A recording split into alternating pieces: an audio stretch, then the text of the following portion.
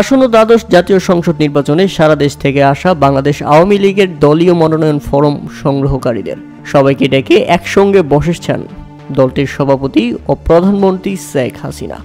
এরই অংশ হিসেবে গণভবনে প্রবেশ করেছেন দেশের ক্রিকেটের অন্যতম জনপ্রিয় দুই মুখ, সাকিব আল হাসান ও মাশরাফি বিন মর্তুজা। তারা দুজনেই নৌকার মনোনয়ন প্রত্যাশী। ক্রিকেটের মাঠ ছেড়ে বিশ্বসেরা অলরাউন্ডার সাকিব আল হাসান এবার নেমেছেন রাজনীতির মাঠে। রাজনীতির মাঠে আবারও এক হয়েছেন সচিত্র ক্রিকেটার মাশরাফি বিন মর্তুজার সঙ্গে। দ্বাদশ জাতীয় নির্বাচনের জন্য তিনি তিনটি আসন থেকে মনোনয়ন চেয়েছেন। তবে ইতিমধ্যে সাকিবের জন্য সুখবর, কারণ মাগুরা এক থেকে মনোনয়ন পেয়েছেন তিনি। রোববার ছাব্বিশ নভেম্বর বিকেলে বঙ্গবন্ধু এভিনিউ কেন্দ্রীয় কার্যালয় থেকে এক সংবাদ সম্মেলনের মাধ্যমে সাকিব আল হাসানের নাম ঘোষণা করে দিয়েছেন ওবায়দুল কাদের। এছাড়া নড়াইল দুই থেকে পেয়েছেন মাশরাফি বিন মর্তুজা, সেই সাথে কিশোরগঞ্জ ছয় থেকে পেয়েছেন নাজমুল হাসান পাপন।